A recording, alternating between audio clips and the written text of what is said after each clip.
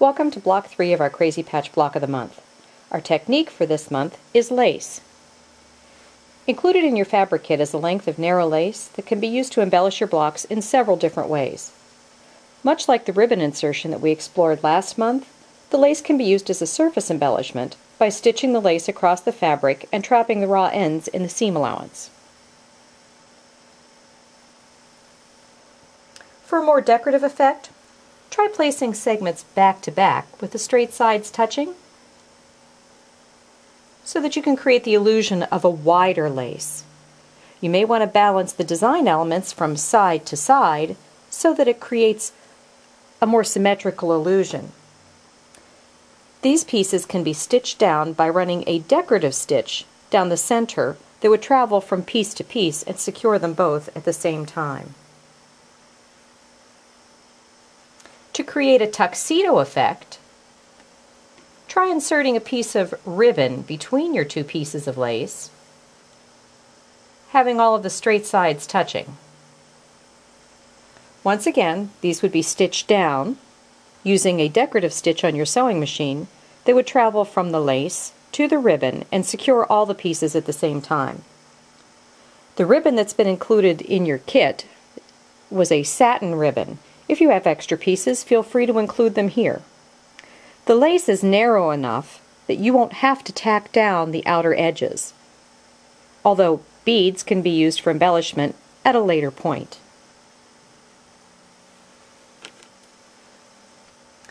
The machine crocheted lace that I've selected for this project is more flexible than the satin ribbon.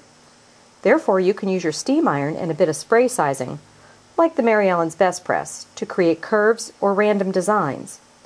To create this perfect curve, I used a standard CD as my template. I pressed the lace into shape on my ironing surface, spritzed it with the spray sizing, and allowed it to dry.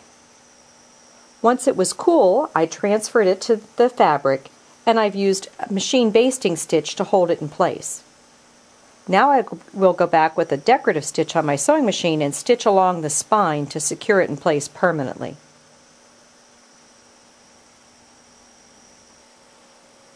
Because the lace that we've chosen for this project is narrow, inserting it in the seam allowance requires some extra care.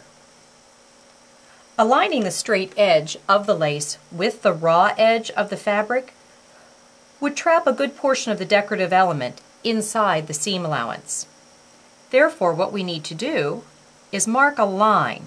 I've marked a line 1 8 inch from the raw edge, and I will use that to align the straight edge of my lace. Now, I used a black permanent marker so that you would be able to see it on camera. You need to use a number 2 pencil or perhaps a blue washable marker to draw the line on your fabric. Now that I have the base of mine aligned an eighth inch in, I'm going to use a machine stitch to base this in place before trapping it in the seam allowance. The lace that was provided with your kit is a machine-made Cluny style lace. You have a world of options available if you would like to add a different kind of lace to your project. If you happen to have lace scraps at home, you may have a double-edged lace which is perfect for spanning the center of a fabric piece. It's decorative on both edges and comes in a multitude of widths. A standard eyelet lace has a decorative edge and a raw edge. The raw edge is perfect for butting against your seam allowance and you have plenty of room between the raw edge and the decorative elements for your seam allowance.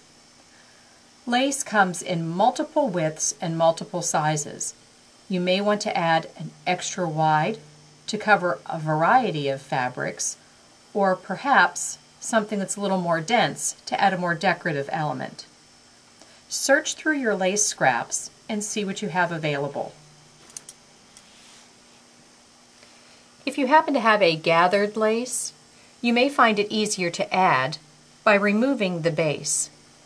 Adding a gathered lace to your project will add all of this additional bulk into your seam allowance and will probably create a lump.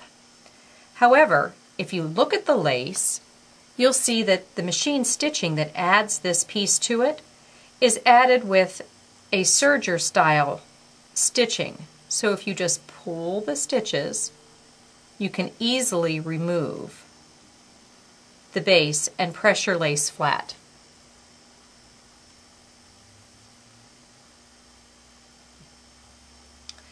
This highly embellished lace is actually cut from yard goods.